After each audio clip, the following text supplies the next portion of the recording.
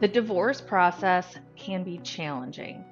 Once the divorce decree is final, the last thing you may want to do is more paperwork. That's why so many divorcees lose sight of the critical step of updating their will. Some people think that the divorce decree automatically severs their financial ties to their ex spouse, but that isn't true. Even after you get a divorce, if your ex spouse was named in your will, then they will still be beneficiary of those assets that are passed via the will. You must proactively remove them from the document. But don't stop there. A will doesn't control all of your assets.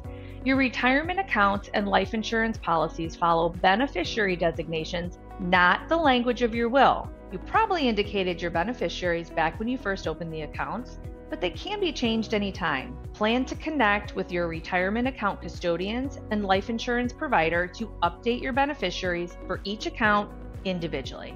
Lastly, be sure to update any trust documents you have that name your ex spouse as a joint owner or beneficiary of the trust. Remember, a divorce decree does not initiate any of these changes automatically and is not enough to sever your financial ties to an ex spouse. Here's another important consideration. If your goal is to preserve your assets for minor children and keep them from passing to your ex spouse, some extra planning may be required.